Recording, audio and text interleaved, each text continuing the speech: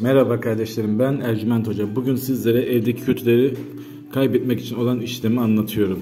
Evdeki kötülükler ve sıkıntı problemlerin ortaya kalkması için yapılan bir işlem.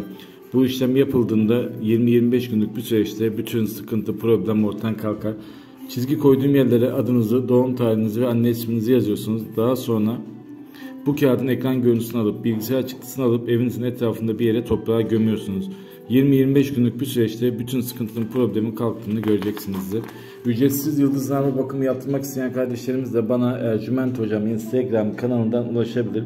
Oradan gelen herkese ücretsiz yıldızlarma bakımını yapıyoruz. Tek şartımız bizi takip etmeniz.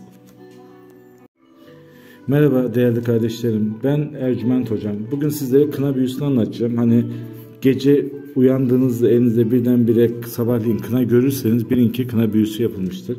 Bunun birçok sebebi vardır. Ne için yapıldığını hemen bakılıp anlaşılmaz. İşlemlerle anlaşılır ne için yapıldı.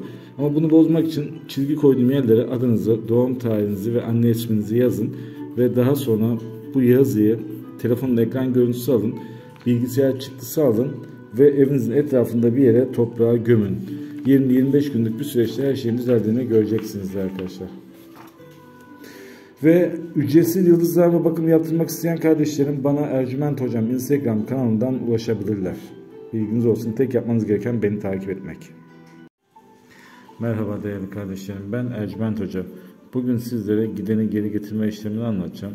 Gideni geri getirme işlemi hayatınızdan çıkan kişiyi sevgi ve aşkla geri getirmeye yarayan bir işlemdir.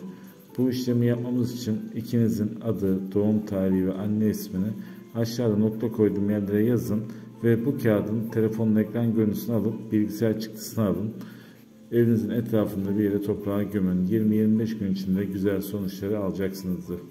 Ve arkadaşlar ücretsiz bakım yaptırmak isteyen kardeşlerim bana Ercüment Hocam Instagram kanalından ulaşabilirler.